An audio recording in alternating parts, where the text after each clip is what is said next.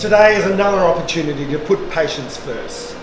The Da Vinci surgical system will be able to undertake more efficiently urological surgical procedures here at Fiona Stanley Hospital. And obviously, it's the very first public hospital in Western Australia to incorporate this sort of equipment. The main advantage is for accessing difficult to access places and the, the instruments are wristed uh, with more degrees of freedom that you have uh, in the human hand, allowing you to perform intricate and very precise surgical maneuvers and actually making that comfortable and, and supporting the surgeon in that approach.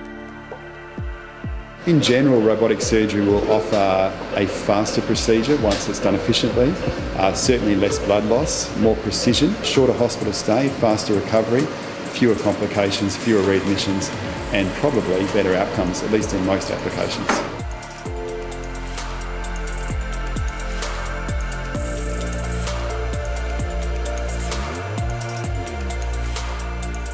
As far as I'm concerned, all it's going to do is increase my recovery time, less invasive, and it's the, the thing that uh, is really makes it exciting for me so I can get in and out. And not that I don't want to stay at Fiona Stanley, it's just rather be at home.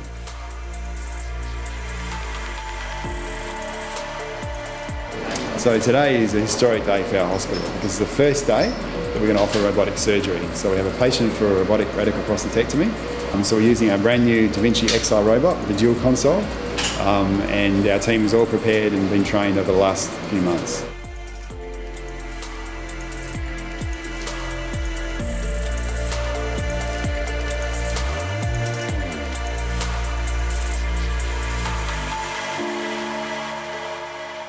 The Da Vinci dual console enables us to train our, our trainees, our fellows and other surgeons in a seamless manner because you can have a senior surgeon on one console and a junior surgeon on the other. And so at all times the senior surgeon can ensure the patient's outcomes and safety is being protected. And I think this is a, a big step forward in surgical education in general.